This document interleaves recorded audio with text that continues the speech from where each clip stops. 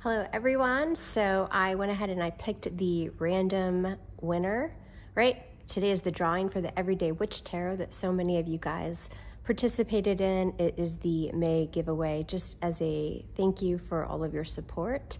And I, again, I randomly just went down the comment section of all the May readings, and the winner is Kellie Siwicki. It's on the Pisces reading K E L L I E S I W I C K I. I'm going to go ahead and post the winner also on my community page. So, Kellie Siwicki, I will be sending you my Everyday Witch Tarot.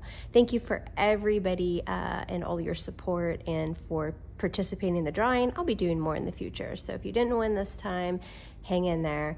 Uh, Kellie Siwicki, you are the winner of the drawing for May. Everyday Witch Tarot. And uh, please go to my community page where I will have my email and you can reach out to me and I will send you your deck. June readings are coming soon in the next couple days. We'll start those. And um, I hope everybody has an amazing weekend. I love you guys hard. As always, love me hard back.